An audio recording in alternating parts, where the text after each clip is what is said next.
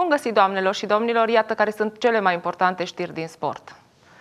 FC Zalău are moralul bun după victoria cu 1-0 din prima etapă a returului în fața fostei lidere a seriei a 5-a, CSM Avântul Reghin și vrea să bifeze a doua victorie consecutivă din acest an și să se întoarcă cu maximum de puncte din deplasarea de la Odorheiul Secuiesc.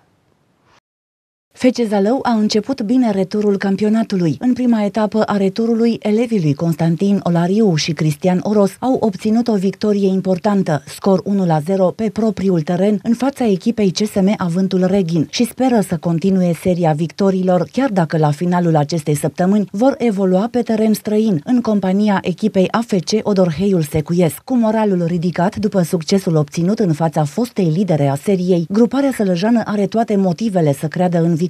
Problemele financiare par a se fi rezolvat după ce primăria și Consiliul Local Zalău au anunțat că vor continua să sprijine financiar gruparea de la poalele Meseșului, iar aducerea la echipă a lui Gabriel Magdaș ca și director executiv este un câștig pentru echipa sălăjană, care se pare că începe să se gândească din ce în ce mai serios la o transformare într-o echipă puternică și cu pretenții care să poată ataca din viitorul sezon promovarea. Revenind la etapa de la finalul acestei săptămâni, zălăoanii pleacă spre Odorheiul Secuiesc cu un singur gând, să facă o partidă bună la finalul căreia să obțină toate cele trei puncte puse în joc pentru a reuși să încheie actuala ediție de campionat cât mai sus în clasamentul seriei. Etapa a doua din retur, a 15-a din actuala ediție de campionat, a Ligii a treia, seria a cincea, mai programează alte cinci partide. Unirea Jucu, CS Oșorhei, Luceafărul Oradea, CS Sănătatea Cluj, FC Unirea Dej, CS Iernut, ACS Fotbal Comuna Recea, ACS Industria